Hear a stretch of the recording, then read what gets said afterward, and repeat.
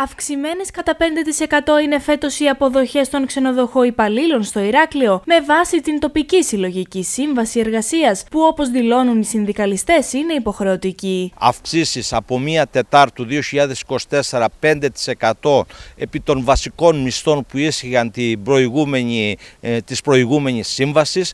Ε, επίσης ε, το επίδομα προϋπηρεσίας 5,90 αναέτος προϋπηρεσίας. Υπάρχει επίσης το επίδομα οικογενειακό βαρών 10% σε παντρεμένους, διαζευμένους, σε μονογονείς. Επίσης υπάρχει το εποχικό επίδομα άλλο ένα 10%. Το ανθυγιεινό επίδομα στους εργαζόμενους που εργάζονται στην κουζίνα 10%. Μετά από τη διετή υπογραφή της Συλλογικής Σύμβασης των Ξενοδοχοϊπαλλήλων που έκανε το Σωματείο Νομού Ηρακλείου πέρσι.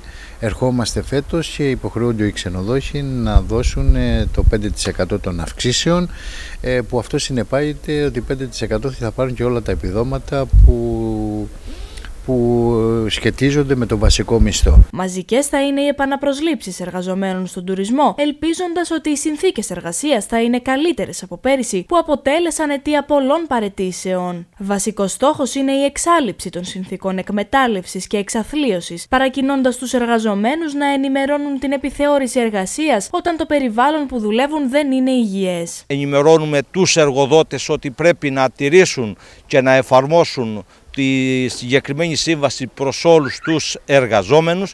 Καλούμε τους εργαζόμενους να την προστατεύσουν και εφόσον υπάρχουν φαινόμενα μη τήρησή της να το καταγγέλουν άμεσα στο σωματείο μας και στην επιθεώρηση εργασίας. Θα αναμένουμε και τις υπόλοιπες δύο συμβάσεις που εκκρεμούν και βρίσκονται σε διαπραγμάτευση και αφορούν τον τουρισμό, αυτή των τουριστικών λεωφορείων, των οδηγών τουριστικών λεωφορείων, καθώς επίσης και των ξεναγών. Θέλουμε ο κόσμος να επιλέγει την εποχιακή εργασία ως ένα φιλόξενο και ασφαλές περιβάλλον, δηλώνουν οι αρμόδιοι, που με τη σκληρή δουλειά τους και την συνεχή προσπάθεια διεκδίκησης όλο ένα και περισσότερων δικαιωμάτων για τους εργαζομένους, όπως την αύξηση του εποχικού και ανθυγιεινού επιδόματος βάζουν την τουριστική βιομηχανία στις πρώτες επιλογές έβρεσης εργασίας για τους πολίτες.